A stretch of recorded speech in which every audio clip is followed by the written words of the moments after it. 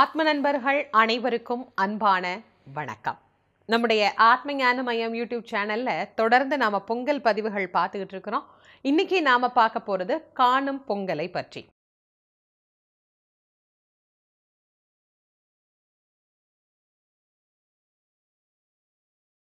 இந்த பொங்கல் அப்படிங்கிற பண்டிகை தான். போகியில் ஆரம்பிச்சு பொங்கல் மாட்டுப் பொங்கல் காணும் பொங்கல் அப்படின்னு நான்கு நாட்கள் நமக்கு உற்சாகமாக கொண்டாடக்கூடிய ஒரு மகிழ்ச்சியான நாள்.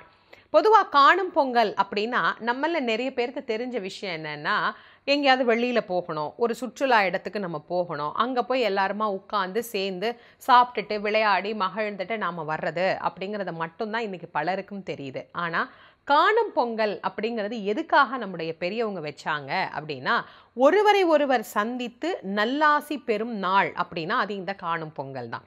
ஒருத்தர் ஒருத்தர் சந்தித்து ஏன் நம்ம ஆசீர்வாதம் பெறணும் அப்படிங்கிற ஒரு கேள்வியே இன்றைக்கி நிறைய பேருக்கு வந்துருச்சு.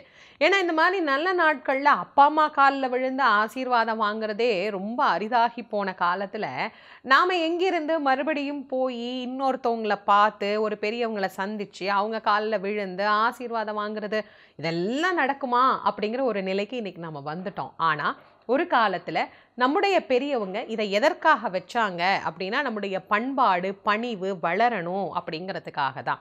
பொங்கல் நல்லா பொங்கிருச்சு.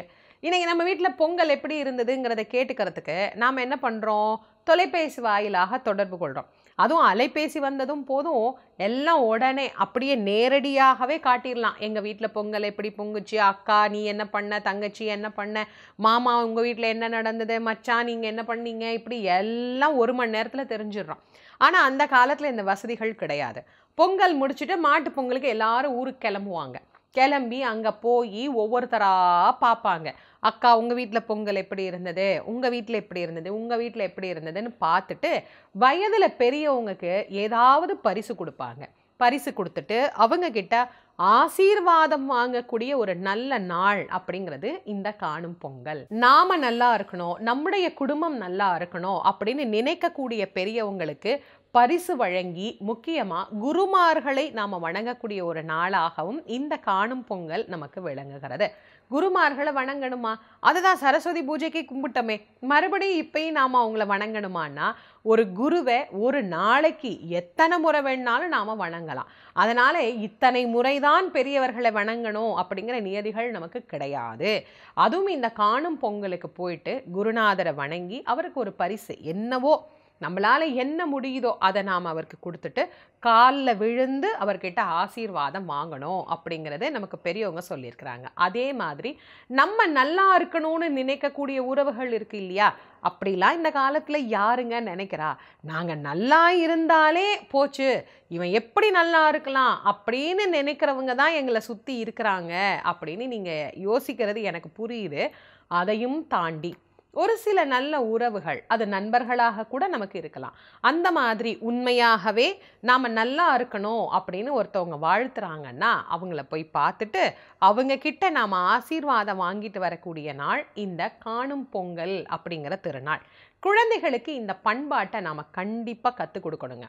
இன்றைக்கி காணும் பொங்கல்னா குழந்தைகள் கலை நிகழ்ச்சிகளோடு அதுக்கப்புறமா வெளியில் போய் நாம் சுற்றி பார்க்குறதோட அது நின்று போச்சு அப்படின்னு நினைக்கக்கூடாது வீட்டில் இருக்கிற பெரியவங்களை வணங்க கற்றுக் கொடுங்க. அவங்கக்கிட்ட ஆசீர்வாதம் வாங்க கற்றுக் கொடுங்க. அதே மாதிரி பெரியவங்களும் என்ன பண்ணணும்? இந்த காணும் பொங்கலுக்கு நம்மளை பார்க்க வர்றவங்களுக்கு பரிசு கொடுப்பாங்க. முந்தையெல்லாம் கிராமங்களில் பொங்கல் காசு அப்படின்னு ஒன்று கொடுப்பாங்க. இன்றைக்கும் வீட்டில் பெரியவங்க இருந்தால் காலில் விழுந்த உடனே முதல்ல பார்த்துக்கிட்டே இருப்போம் எவ்வளோ காசு கொடுக்குறாங்க அப்படின்னு. அது வந்து ஒருத்தருக்கு ஒருத்தர் கொஞ்சம் வித்தியாசம் ஆயிடுச்சுன்னா அந்த குழந்தைங்களுக்கு அது உடனே ஒரு சண்டை வர ஆரம்பிச்சிடும். எனக்கு அஞ்சு ரூபா தான் உனக்கு மட்டும் எப்படி பத்து ரூபா தாத்தா கொடுத்தாரு? இரு நான் போய் தாத்தாட்ட கேட்குறேன் அப்படின்னு தாத்தாட்ட போய் அவளுக்கு மட்டும் நீங்கள் பத்து ரூபா கொடுத்துருக்குறீங்க எனக்கு அஞ்சு ரூபா தான் கொடுத்துருக்குறீங்க இன்னொரு அஞ்சு ரூபா கொடுங்க தாத்தா அப்படின்னு அந்த குழந்தைங்க உரிமையாக கேட்டு வாங்கிட்டு வரக்கூடியது இந்த மாதிரி விழாக்கள் காலத்தில் தான். அப்படி இந்த பொங்கலுக்கு பரிசு கொடுப்பதும் ஒரு காலத்தில் இந்த இந்த காணும் பொங்கல் திருநாளில் தான் பெரியவங்க பண்ணிக்கிட்டு இருந்தாங்க. தன்னை காண வரக்கூடியவர்கள் யாராக இருந்தாலும் அவர்களுக்கு ஏதாவது ஒரு பரிசு கொடுத்து ஆசீர்வாதத்தோடு அவர்களை வந்து மகிழ்ச்சிப்படுத்தி அனுப்பக்கூடியது அப்படின்னு இருந்தது. அப்பெல்லாம் வீட்டில் ஒரு பத்து பிள்ளைங்க இருப்பாங்க பெரியவங்க இருப்பாங்க. அந்த பெரியவங்களும் அந்த குழந்தைகளுக்குமான ஒரு உறவு அப்போ ஒரு புரிதல் அப்படிங்கிறது ரொம்பவே நல்லா இருந்தது. இன்னைக்கு வீட்டில் இருக்கிறதே மூணு பேர் தான் அவங்க யாரை பார்க்க போவாங்க அப்படின்னா பலரும் இந்த காலத்தை தங்களுடைய உறவுகளோடு கலந்து அவர்களோடு மகிழ்வாக இருக்கக்கூடிய காலமாக மாற்றிக்கலாமே ஏன்னா இப்போ தனி குடும்பம் அப்படிங்கிற ஒரு விஷயம் வந்ததுக்கு அப்புறமே கூட்டு குடும்பத்தில் இருந்த அந்த மகிழ்ச்சி இல்லை இல்லை இல்லை அப்படின்னு மட்டும் நாம் பேசுகிறத நிறுத்திடலாம். முடிஞ்சதுன்னா இப்பையும் நாம் சில நாட்களில் கூடி வாழ முடியும். அது மாதிரி தனியாக இருக்கிறவங்க அப்பா அம்மா கூட போய் இருங்களேன் ஒரு நாளைக்கு. மாமனார் மாமியார் கூட போய் இருந்து பாருங்களேன் ஒரு நாளைக்கு. அது இந்த காணும் பொங்கல் அன்னைக்கு போகலாமே. போய் காலையிலேருந்து அவங்களோட இருந்துட்டு அவங்களுக்கு வேணுங்கிறதெல்லாம் நீங்கள் செஞ்சு கொடுத்து எல்லாரும் ஒன்றா சாப்பிட்டுட்டு அதுக்கப்புறமா நீங்கள் கிளம்பி உங்களுடைய இடத்துக்கு வரலாம். இல்லை அண்ணா இருக்கிறார் தம்பி இருக்கிறார் தங்கச்சி இருக்கிறாங்க எங்களுடைய உறவுகள் இங்கே இருக்கிறாங்க நண்பர்கள் இருக்கிறாங்க எங்களுக்கு உறவே கிடையாதுங்க நண்பர்கள் தான் இருக்கிறாங்க அப்படின்னா அவங்க வீட்டுக்கு நீங்கள் போகலாம். இல்லை உங்கள் வீட்டுக்கு அவங்கள கூப்பிடலாம். இந்த மாதிரி உறவுகளோடு ஒருவருக்கு ஒருவர் நாம் புரிதலாக பகிர்ந்து கொள்ளக்கூடிய நல்ல விஷயங்களை பகிர்ந்து கொண்டு அதில் நம்ம திரும்பவும் அங்கே போய் உட்காந்து இன்னொன்னையும் யோசிக்கணும். இந்த எல்லாரும் ஒன்றா சேர்ந்தாலே எங்கள் வீட்டில் பிரச்சனை தாங்கன்பாங்க சில பேர். அது ஏன் வருதுன்னா தேவையில்லாததை பேசுறது. இந்த பழைய விஷயத்தை பேசுகிறத முதல்ல நிறுத்திடணும். அன்னைக்கு அப்படி நடந்தது அன்னைக்கு அப்படி பேசுனீங்க அன்னைக்கு அப்படி சொன்னீங்கங்கிறத நம்ம சொன்னோம்னா திரும்பவும் அங்கே என்ன வரும்? சண்டை தான் வரும். அதனால நம்ம போனதே சந்தோஷமா இருக்கிறதுக்கு.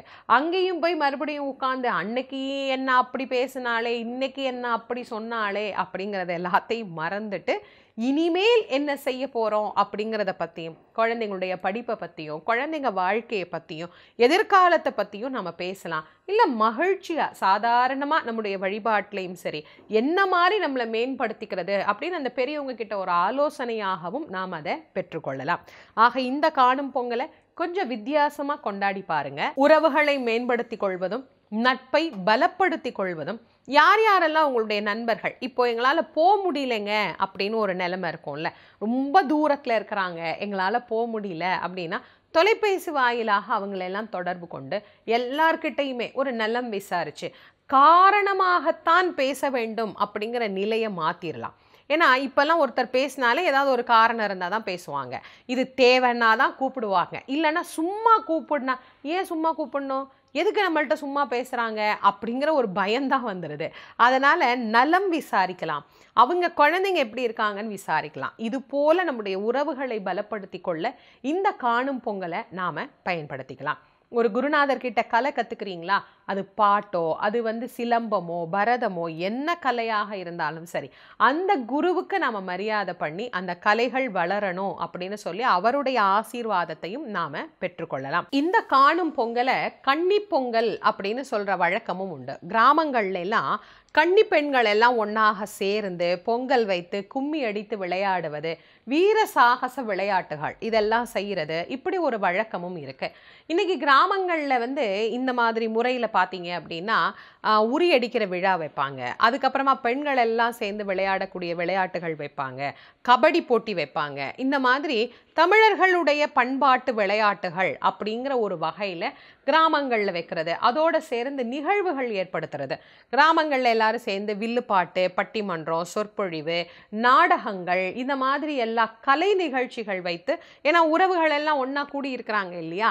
அப்போ எல்லாருமா சேர்ந்து கிராமத்தில் அந்த பொங்கல் விழாவை காணும் பொங்கலாக இப்படி கொண்டாடக்கூடிய வழக்கமும் உண்டு. இன்னொன்று இந்த காணும் பொங்கல் அப்படிங்கிற இந்த நாளில் கணுப்பொங்கல் அப்படின்னு வந்து அதை சொல்லுவாங்க. அதாவது நம்ம பொங்கலுக்கு வச்சோம் இல்லையா? அந்த மிச்சம் இருக்கக்கூடிய சாதங்களை எல்லாம் காக்கா குருவி இந்த மாதிரி உயிரினங்களுக்கும் வந்து நாம தர்மம் பண்ணணும். அப்படிங்கிற கணக்குக்காகவும் இந்த நாளில் வந்து நாம் அந்த தர்ம சிந்தனையை வளர்க்கணும் அப்படிங்கிற ஒரு விஷயமும் இந்த காணும் பொங்கல் அப்படிங்கிற நாளில் நமக்கு சொல்லப்பட்டிருக்கு. இப்படி காணும் பொங்கலை கொஞ்சம் வித்தியாசப்படுத்தி நாம் கொண்டாட ஆரம்பித்தோம் அப்படின்னா ஒருவருக்கொருவர் நலத்தோடு சேர்த்து நல்ல ஆசிகளையும் பகிர்ந்து கொள்ள முடியும். எல்லோருக்கும் எல்லா விதமான மகிழ்ச்சியும் இந்த நாளில் கிடைக்கணும் அப்படின்னு எல்லாம் வல்ல இறைவனை நான் உள்ளன்போட வேண்டிக் கொள்கின்றேன். எல்லோருக்கும் எங்களுடைய இனிய காணும் பொங்கல் நல்வாழ்த்துக்களையும் அன்போடு தெரிவித்துக் கொள்கின்றேன். இது போன்ற பல நல்ல பதிவுகளை தொடர்ந்து அறிந்து கொள்ள நம்முடைய ஆத்மஞான மையம் யூடியூப் சேனலை சப்ஸ்கிரைப் பண்ணுங்க. நண்பர்கள் உற்றார் உறவினர்கள்னு எல்லோரோடும் இந்த மாதிரி பதிவுகளை எல்லாம் பகிர்ந்து கொள்ளுங்க. மீண்டும் அடுத்த ஒரு சிறப்பான பதிவில் உங்கள் அனைவரையும் சந்திக்கும் வரை உங்கள் அனைவருக்கும் நன்றியும் வணக்கமும் கூறி விடைபெறுவது திருமுருக வள்ளல் வாரியார் சுவாமிகளின் மாணவி தேசமங்கையர்க்கரசி நன்றி வணக்கம்.